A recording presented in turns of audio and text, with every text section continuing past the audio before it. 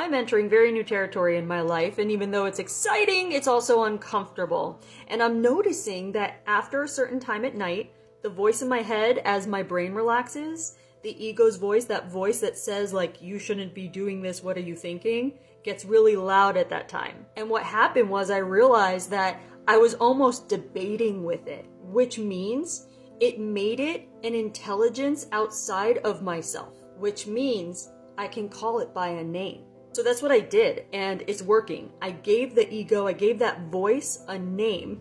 I call her Myrtle. And when Myrtle starts to pipe up at night, I've noticed now over the course of the past week having done this, she gets quiet real fast when I call out her name. And while I think I do a pretty good job managing my ego throughout the day kind of thing, this technique has been extremely powerful. Not only does it get Myrtle to quiet down, but it also feels empowering. I notice it shifts me into a more playful mood, like, okay, Myrtle, time to go away now. It's nighttime, it's bedtime. So I just wanted to share that for those of you who want to try something new and that voice is holding you back.